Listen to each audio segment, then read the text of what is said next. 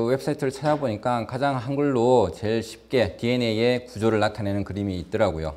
DNA가 보면 이렇게 꼬여 있는 거 우리 아까 몇 번씩이나 봤죠, 그죠?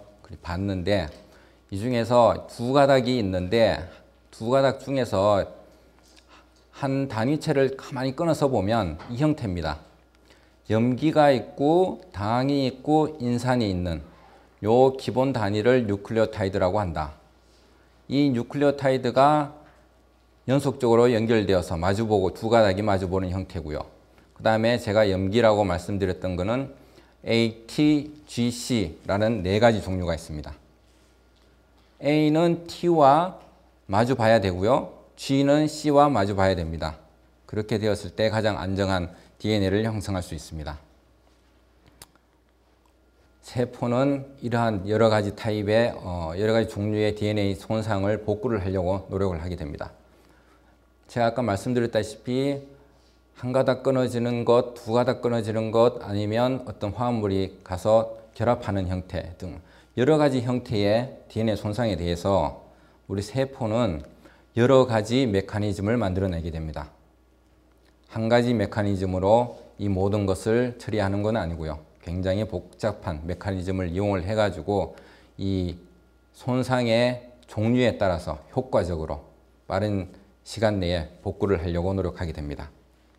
그 중에 이분이 하신 거는 여러 가지 손상이 있다고 했는데 특히나 한 가지 여러 가지 어, 긴 DNA에서 어떤 베이스 염기가 손상받았을 때 염기가 손상받았을 때 어떻게 복구를 하는지에 대한 어떤 연구를 했던 거죠.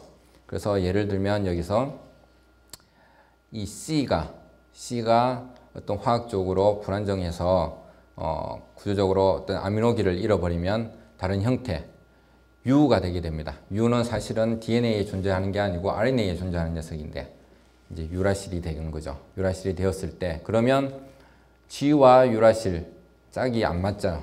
그죠? C와 G가 제가 짝, 짝이 맞다고 그랬잖아요. 그죠? C와 G가 짝이 되어야 되는데 U와 G가 짝이 되어 있는 상태. DNA 손상이죠. 이 손상을 어떤 효소가 글라이코실레이즈라고 하는 효소가 와서 인지를 하고 이 유라실 염기를 잘라내고 다른 효소들이 와서 나머지 부분을 절단을 하고 또 다른 효소가 와서 이것을 메꾼다라고 하는 베이스 엑시즌 리피어라고 하는 복구 기작을 연구를 하고 많은 연구 성과를 거두게 됩니다. 이분이 하신 일을 요약을 하면 아까 제가 잠깐 설명드렸다시피 자외선 등에 의해서 자외선뿐만이 아니라 사실은 어, 어떤 큰 덩치의 우리가 DNA 손상이라고 하면 아까 전에 처음에 말씀드렸던 음, 화학 물질에 의해 가지고 DNA에 결합한 형태 이런 다양한 사실은 굉장히 다양한 DNA 손상에 대해서 이 복구 기작이 작용을 하거든요. 예를 들어 자외선을 만약에 어, 조사를 받게 되면 DNA 손상이 일어나는 거 이것을 다른 어떤 최소 사람에게는 최소 8개 이상의 단백질 또는 단백질 복합제 왜냐하면 8개 중에 한 단백질 복합체는 한 10개의 단백질로 이루어져 있거든요. 그러니까 컴플렉스, 복합체이거든요. 그러니까 수많은 단백질들이 작용을 하는 거죠, 사실은.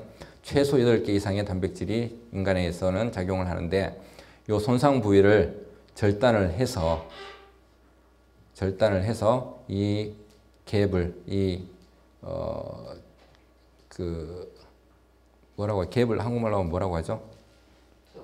틈, 이 틈을 다시 다른 효소가 와서 다른 단백질이 와서 어, 메꾸게 되고 결국은 이또틈 끝은 또 연결하는 또 다른 단백질이 있습니다.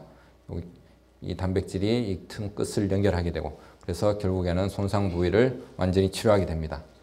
다음은 한 세포에서 어떤 DNA 손상이 일어났을 때 제대로 복구가 되면 정상적인 세포로 성장을 하지만 복구가 제대로 되지 않으면 이 세포는 데미지, 손상을 가지고 있는 DNA를 가지고 계속 어, 그 성장 속도도 빨라지고 결국에는 세포 덩어리가 종양이 발생을 하는 거죠.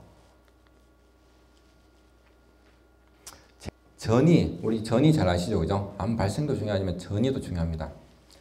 전이는 종양이 크면서 종양이 크면서 요 요거를 보시죠. 종양이 발생하고 커지면서 결국에는 혈류에 닿게 되고 혈류에 암세포가 어, 진입을 해서 온몸으로 이제 여행을 하게 되면 이게 전이죠. 그죠? 이게 암세포가 전이도 그렇지만 또 그 전에 암세포가 성장하면서 주변에는 사실은 정상적인 세포도 있을 거 아니에요. 그죠? 이 정상적인 세포가 암세포가 계속 무한정 자라다 보면 이 정상세포가 정상세포가 살아나가는데 필요한 모든 영양분을 취하게 돼버리죠.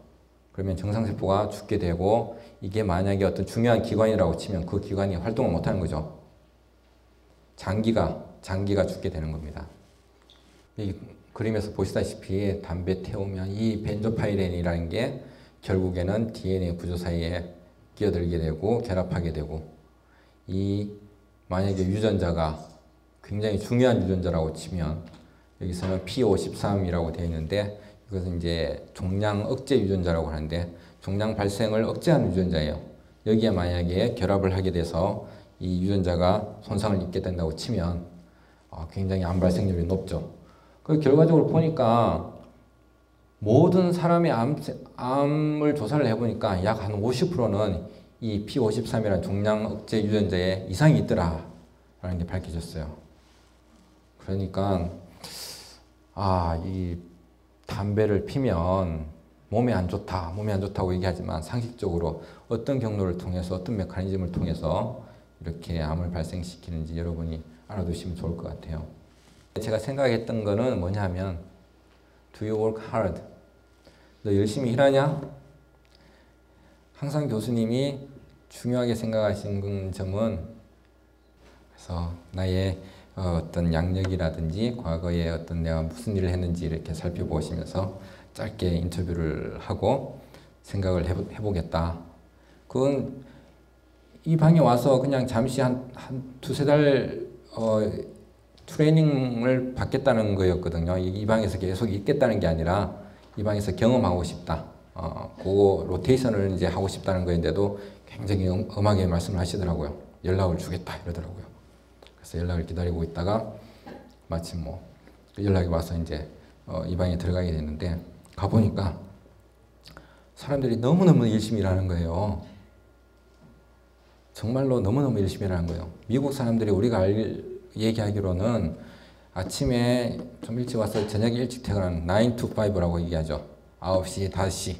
9시 출근 다시 퇴근할 거라고 보통 생각을 하시죠. 그죠? 여기 가보니까 안 그런 거예요. 너무 아침에 일찍 오고 너무나 늦게까지 미국 친구들이든 다른 외국 친구들이든 너무 열심히 하는 와중에 이 교수님은 더 열심히 하고 계세요. 학생들보다 연구원들보다 더 일찍 나오시고 더 늦게 퇴근하시고 너무 열심히 하는 거예요.